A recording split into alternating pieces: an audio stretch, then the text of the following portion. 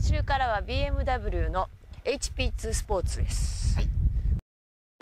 まさに空冷バイクの究極ともいえる超スペシャルな限定車 HP2 スポーツ。エンジンは空冷ボクサーでありながらなんと DOHC を採用し出力は133馬力という途方もないハイパワー。さらに超スペシャルなシャシーとの組み合わせで 178kg という信じられない軽さを実現。日本では100台限定ですでに予約でほぼ完売状態というファンにとってはたまらないマシン。その超スペシャルぶりをとくとご覧ください。このバイクは HP2 スポーツ BM なんですよね。BM ですよ。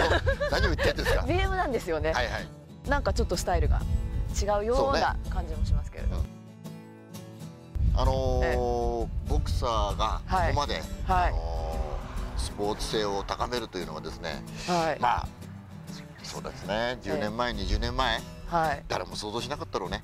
あなるほど。うん。BMW といえばなんといってもボクサーエンジン。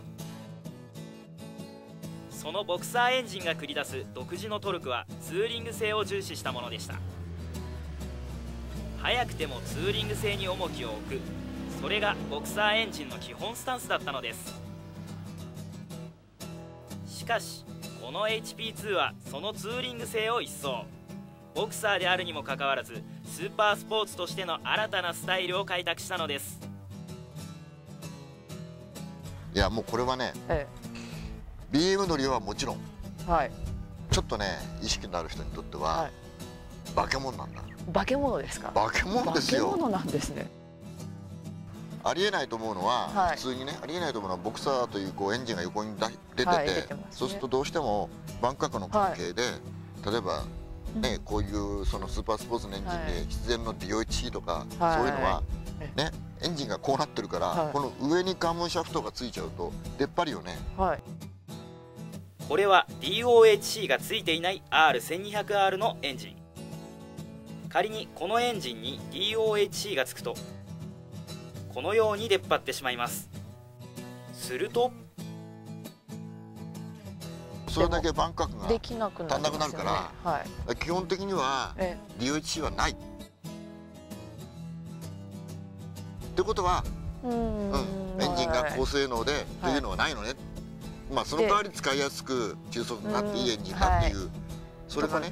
あるでしょところがこれはですね。あります DOHC なんですよね。そうなんです。ボクサーなの小さいその中のカムの駆動を見れば分かるんだけど、はい。それに全然違う。違うんですね。そう。普通の普通のこうはい。立ってる普通のエンジンと違ってコンパクトにするために今のイギリスで全部形が違う。なるほど。見た目と全然。違うんです。ボクサーだけど違うって一見見てだって普通の今までの R と変わんないじゃないですか、変わんないですよねでこの中にちゃんええ。とカムシャフトが2本入っていて、うん。入ってる DOHC になってるいや本当にたまげるたまげるんですねこれは。うん。さらに。空冷ですよ。空冷。で排ガス規制があってそうですね。空冷で、はい今。ええ。なのにはい。133馬力。それで通っちゃってるんですか？そう。ーん。うね。で当然ながら、はい。これ後で、はい。乗ってきてまたえ熱くそうですね。しゃべっちえあのートルクのレンジが全然違う、えうん。でそういうのを含めてはい。このボクサーエンジン空冷のボクサーエンジンがはい。なんとそこまで。